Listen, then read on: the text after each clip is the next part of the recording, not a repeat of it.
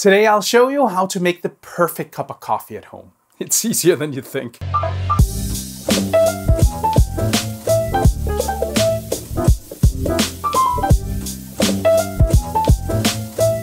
Hi, I'm Sune and I'm a food geek.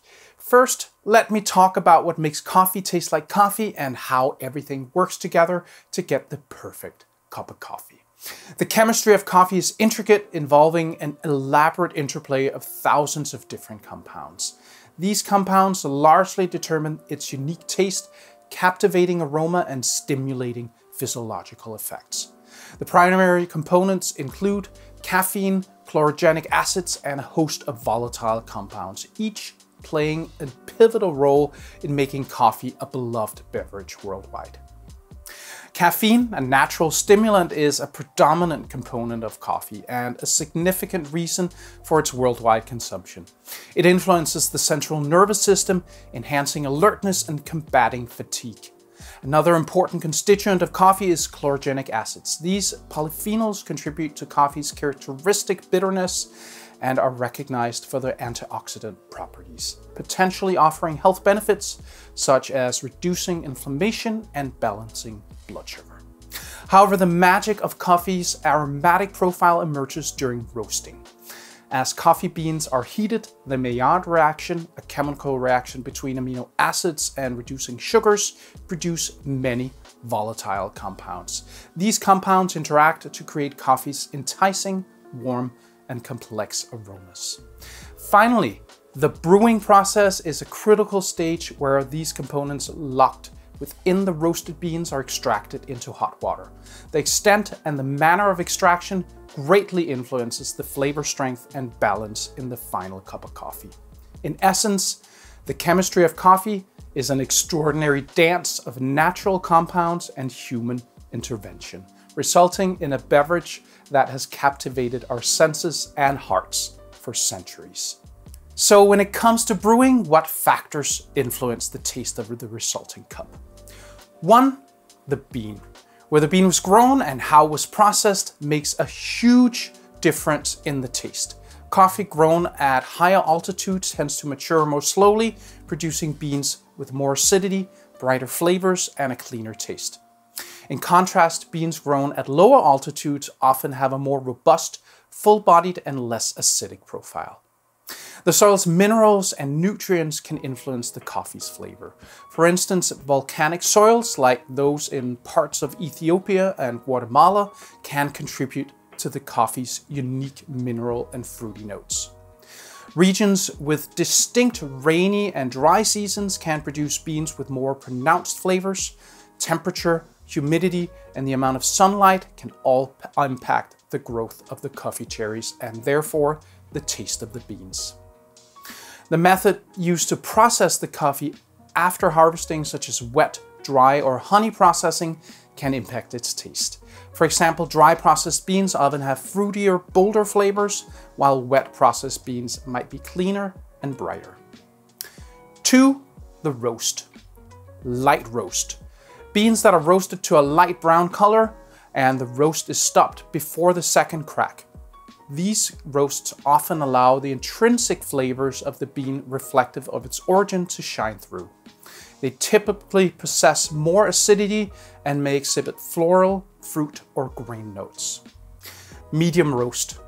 These beans are roasted until just after the first crack or early into the second crack. The acidity is balanced and the coffee develops flavor introduced by roasting like caramel or toast. Dark roast. Beans are roasted well into the second crack, resulting in a darker color and a shiny, oily surface. The flavors of the origin becomes muted, replaced by bold flavors from the roasting process, like chocolate, nuts, or even smoky notes. The coffee will generally be more full-bodied and less acidic. Roast profile. This refers to how a bean is roasted over time. Two beans can be roasted to the same final color, but can taste different based on how quickly they were heated, how long they were held at a specific temperature, and the cooling process. 3. Grind size. The size of your coffee grounds can significantly influence the taste. Coarse grounds are generally used for methods like French press, where the coffee and water steep together for several minutes. On the other hand, finer grounds used for espresso, where hot water is forced through the coffee quickly. A medium grind is often used for drip coffee makers and for pour overs. Too fine of a grind for a slow brew method can tend to over extraction, making the coffee taste bitter. Conversely, too coarse of a grind for a fast brew method may result in under extraction, leading to a weak, sour flavor. 4. Water temperature. The temperature of the water used for brewing also affects extraction. The ideal range is usually between 90 to 96 degrees Celsius, about 195 to 205 degrees Fahrenheit. Water that's too hot can over extract the coffee, leading to a bitter taste, while water that's too cool may not result in enough, resulting in a flat or weak flavor. 5. Brewing time. The duration that the water is in contact with the coffee grounds also influences extraction.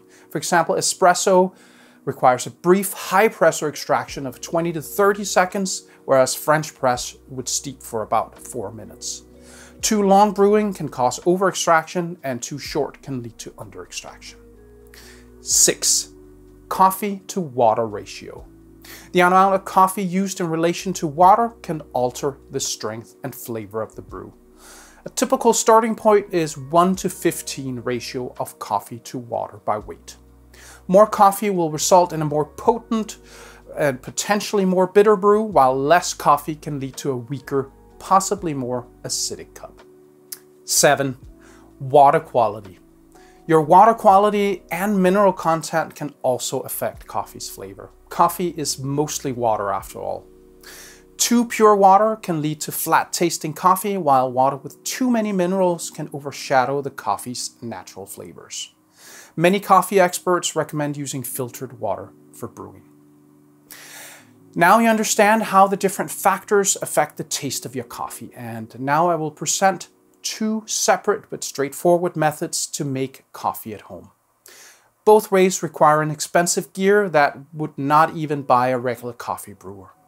More on this during the recipes.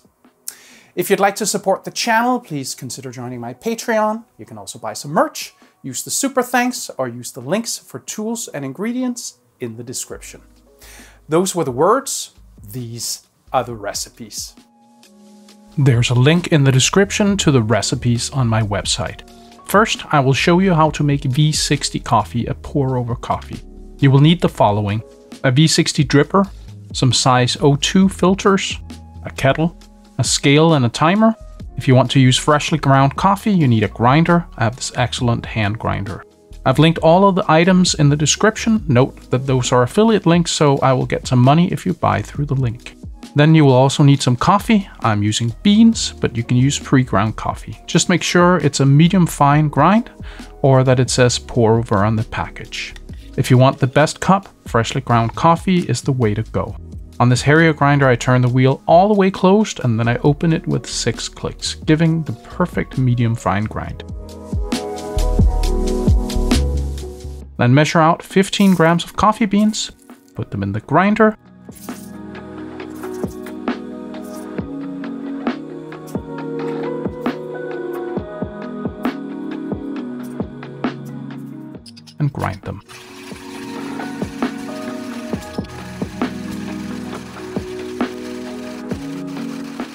Boil enough water for a cup and for rinsing the filter. 400 milliliters or 2 cups should be enough.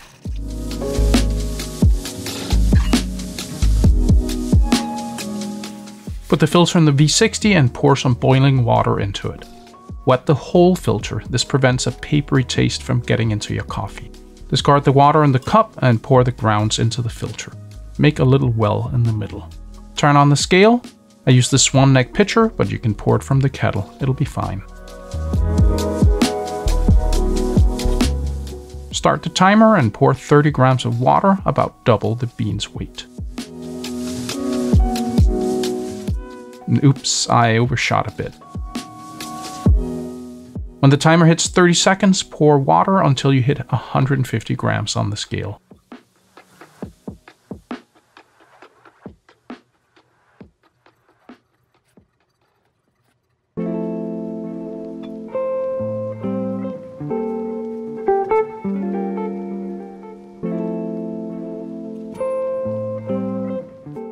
When the timer hits 1 minute and 15 seconds, pour water until the scale reaches 250 grams. Make sure to pour around the edges to get the grounds on the sides of the filter.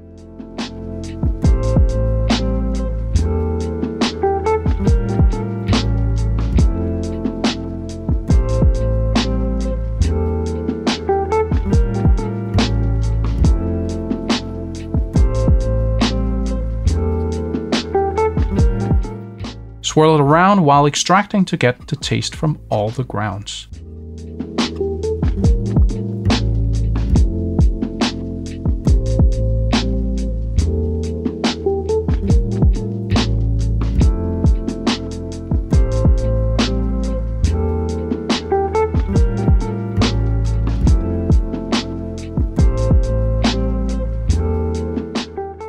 Perfect cup of coffee is ready when the timer hits 3 minutes and 30 seconds. Enjoy your coffee? You won't even need milk since it's so clean and smooth. Alright, the other method uses an AeroPress brewer. You will need the following an AeroPress brewer, a cup to brew into, a kettle, a scale and a timer, and some coffee. Again, beans are better because the oils with all those volatile compounds don't have time to dissipate and will make it into your cup. That makes a huge difference. If you use a Hario hand grinder, close it completely and open it with 6 clicks. Measure out 14 grams of coffee beans. Check out this coffee bean container I designed and 3D printed. Isn't it gorgeous?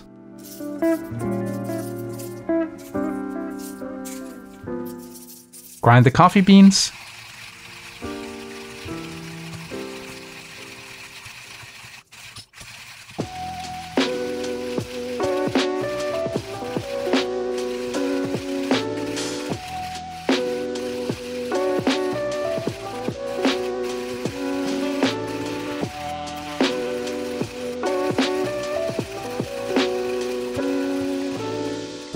Place your cup on the scale now set up the AeroPress.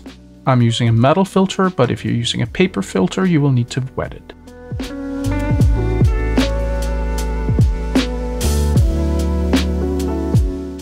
Pour the ground coffee into the AeroPress and place it on the cup. Turn on the scale and boil some water. When boiling, pour 200 grams of water into the AeroPress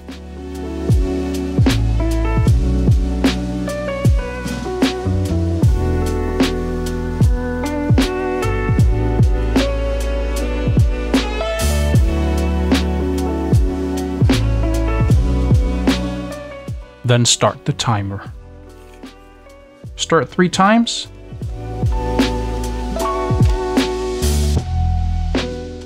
Take the cup off the scale. Place the plunger on the top of the AeroPress, press it down a bit, and pull it up to create a vacuum that keeps the coffee inside the AeroPress.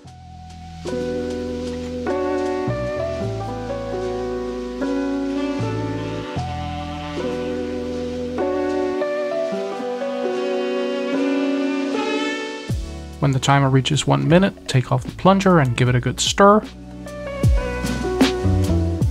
Then put the plunger back on and press it down all the way. Don't press hard, just let the weight of your hands do the work.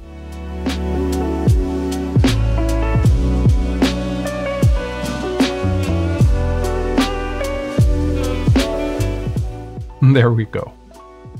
Now we just need a cookie to go with this, huh? Enjoy your perfect cup of coffee.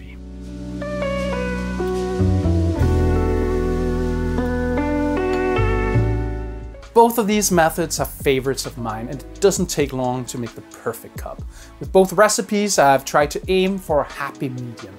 If you like your coffee more robust, I'd recommend adding a bit more grounds, or if you want a little less full-bodied, I'd suggest adding a bit fewer grounds, keeping all the other variables the same.